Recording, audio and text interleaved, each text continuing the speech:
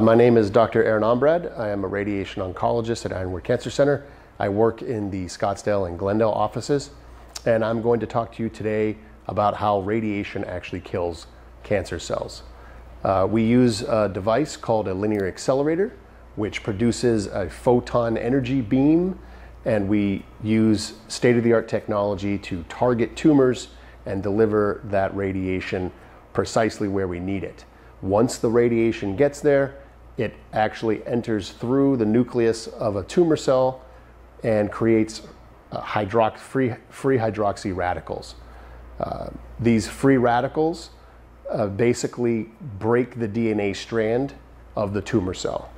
There are normal cells that also receive radiation. Uh, so one would ask, how come my normal cells uh, don't get damaged as well?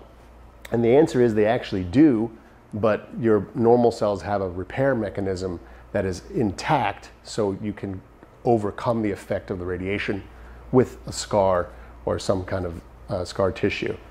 A tumor cell does not have this repair mechanism, so the difference is called the therapeutic window. So the trick is to get enough dose of radiation to kill the cancer cell, but not too much so that the normal cell can't repair itself.